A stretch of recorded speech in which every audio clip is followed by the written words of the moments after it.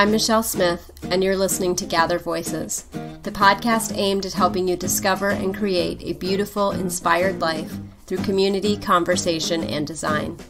You can find more at the Gather Goods Co. online shop at gathergoodsco.com. And if you're in the Raleigh, North Carolina area, you can visit in person at our shared studios, showroom, and classroom space. Just let me know ahead of time so that I can make sure that I'm there. And if you like this podcast, please tell your friends, leave a review, and subscribe. It really helps get the word out and it helps others to find us.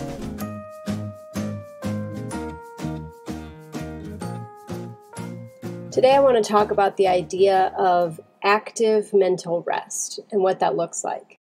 It's really hard for us to just stop doing what we're doing. When we are exercising and we work our muscles, they get tired and fatigued. And if you are doing it right, then you're not exercising actively, aggressively every day. You're also taking active rest days. And so I think the same thing needs to apply to our mental health as well. If you have stretched your muscles and you're growing them, they're going to grow stronger and more healthy, and you're going to get more benefits from it if you take an active rest day after after you do some hard work. What active rest looks like in a physical sense is doing activities that are a little bit lesser impact. So, yoga or Tai Chi or swimming or going for a walk.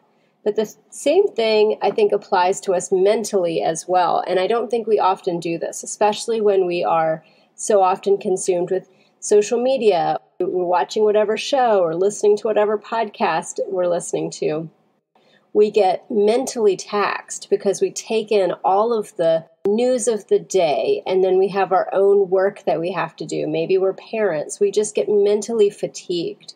So, one of the things that's really important for us is not to necessarily just completely do the opposite, which I think most of us have a tendency to do.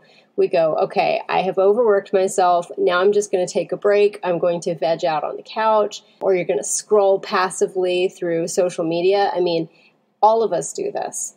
And it's our natural tendency. Again, we just want to do the opposite. But what's more important is that we take time to do active mental rest. So, what does that look like? Part of what it looks like is having productive hobbies that don't necessarily relate to the other things that we're working on. They're not tied to making money, they're not tied to expectations around what they're going to produce for other people. The simple act of just doing something that engages our brain but allows us to disconnect from the thing that we've been doing before. It's like the idea of when you are going for a walk or when you're in the shower and you all of a sudden are flooded with a bunch of different ideas. There's a lot of great thinkers who have gone go for daily walks and that helps them to process things. So that's the way our brain works. That's why we go to sleep, right? Because we need to recharge our batteries, we need to sweep away all the brain debris and thinking that we've been thinking about. That's why it's extra important to get a lot of really good quality sleep. There's a book that came out recently that I highly recommend. It's called Burnout, and they talk a lot about this in the book. So there's a lot of really good practical strategies. There's nothing necessarily super revolutionary in the book if you're already familiar with this concept, but it is a really good one with some really practical steps. I do this a lot. When I get overwhelmed, oftentimes I find myself putting in my headphones, listening to a long form audiobook, something that I can engage with that's not just a few 20 minute snippets here and there, making me think of something else. I listen to an audiobook I paint a wall or I paint like a dresser. I do something where I have to spend hours and hours and hours engaged in something. Another activity that I do is I will try to shut off my work at around three o'clock when my daughter's done with school.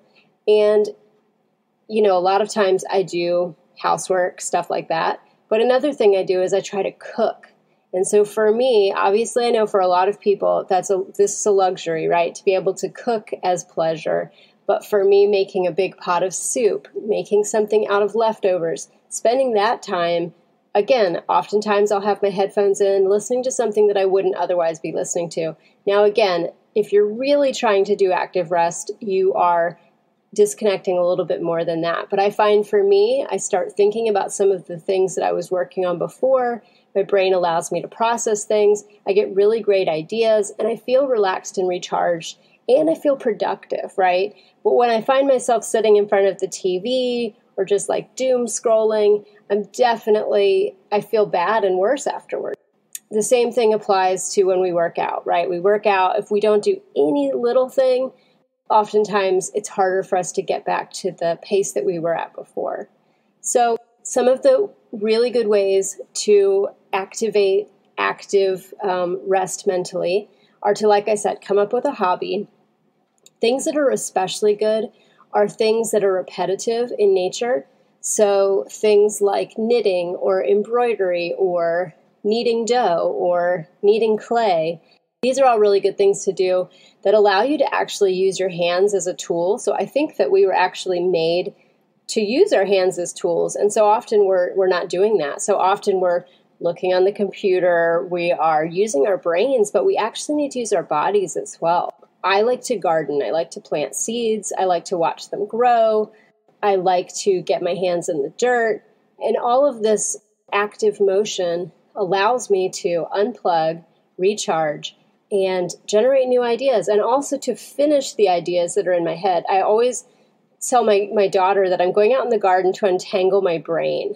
And, and it's true. Like when I work in the garden for an extended period of time, usually by myself, 35, 40 minutes, by the time you get to the 35, 40 minute, you feel things feel clarified. You're able to, all the like fuzzy overwhelm that you feel in your head just suddenly clears. I think it's the benefit of being outside and getting that good vitamin D, but it's also that active, that active rest time. You know, I try to aim for a daily walk because walking does the same thing, like I talked about. But there are other ways you can do it at home. So, one thing that I like to do is I like to listen to uh, bird sound soundtracks or just classical music in the background. You know, when I listen to that stuff, it makes me feel good from a sensory perspective, but it's not taking all my attention like changing a new song every couple minutes. So, those are good things to do. Other things that are good that you can do you can do a puzzle you could actively daydream. This one is really hard for me. I think it's hard for a lot of us. One of the things that happens when we are too mentally fatigued and too busy in general, we lose the ability to dream, or we don't give ourselves permission to dream.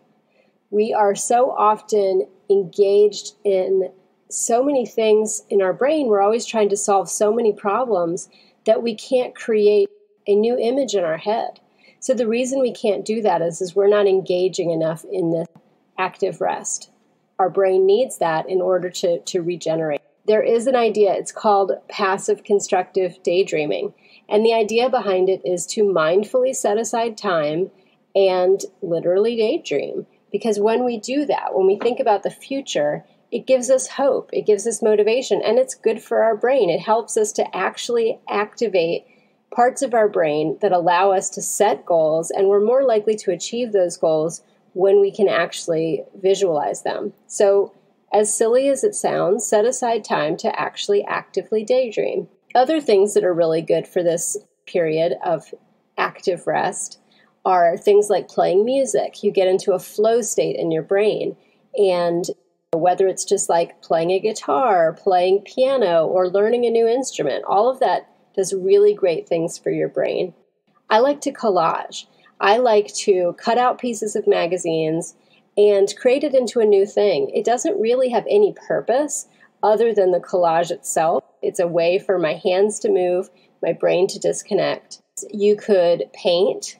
Painting would be a really great thing as well.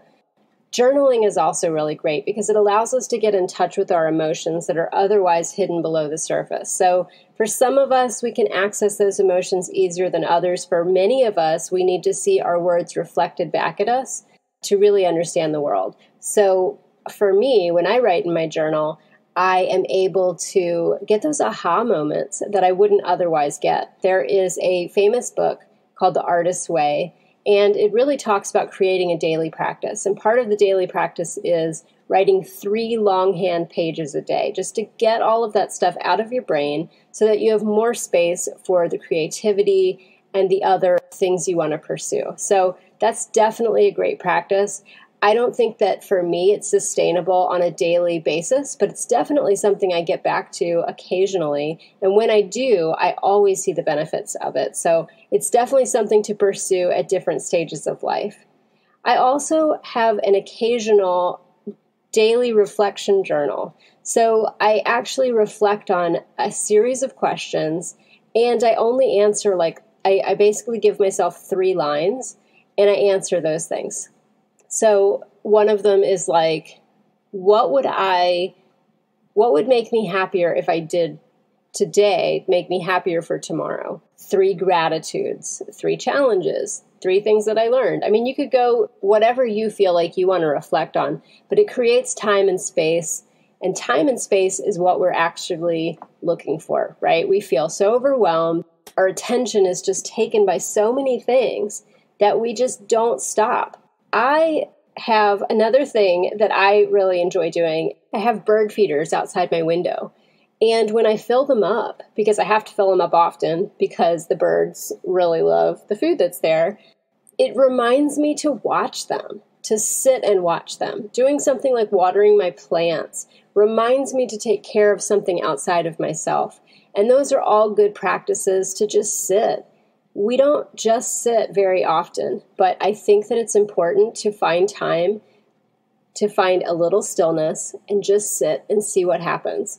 I know a lot of us are afraid of being still because when we're still, a lot of the bad feelings and the thoughts creep in.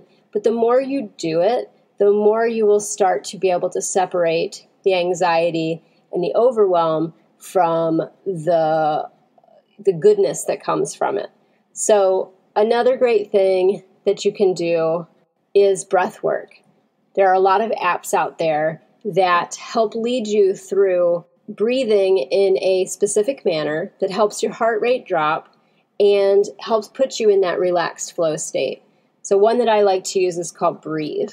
Also, meditation. Meditation is great. It's hard for some of us to do it, it's easier for, than others. It's hard for all of us when we first start meditating. Start with five minutes, work your way up to 15 minutes. When you meditate, you will notice that your brain starts thinking of a hundred different things at once. That's because it's not used to being still. The more you do it, the more you separate your thoughts and your emotions from who you are, then the more you start to recognize that these thoughts and emotions really aren't who you are. They're just a part of life that you're experiencing, and you have the ability to disconnect yourself from those. So it's a really, really amazing practice. I highly recommend it. Again, I don't do it daily, I do it when I can, but it has been shown that if you meditate for more than 15 days in a row, it changes the brain chemistry in your brain that makes you more able to handle stress and gets you in a more zen state of mind just in general in your day to day, even when you're not meditating. So I highly recommend trying it, even if it feels a little out there.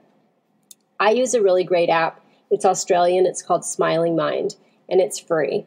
It also has meditations for kids as well as adults.